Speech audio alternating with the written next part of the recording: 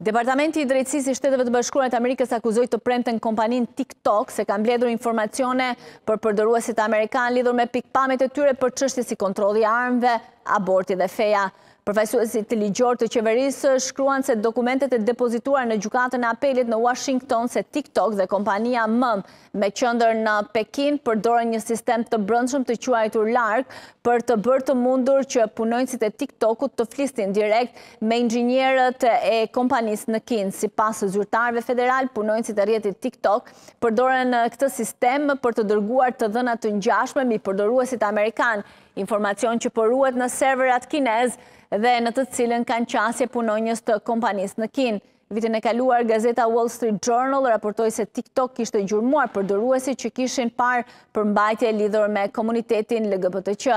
Dokumentet e depozituara në gjykatë shënojnë aktin e parë të rëndësishëm të qeverisë amerikane të përballjes ligjore mbi të ardhmen e platformës së medias sociale, e cila përdoret nga më shumë se njëqind e shtatëdhjetë milionë amerikanë. Sipas një ligji të nënshkruar nga presidenti Joe Biden në prill, kompania mund të përballet me ndalimin e përdorimit brenda pak muajsh në rast se nuk shkëput marrëdhëniet me kompaninë kineze.